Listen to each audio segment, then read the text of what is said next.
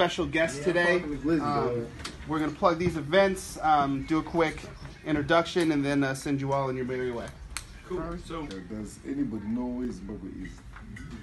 Oh, ah, nice. Because last time I was in New York and uh, people didn't know where Zimbabwe was. And, uh, they thought Africa was one small country where everybody knew each other.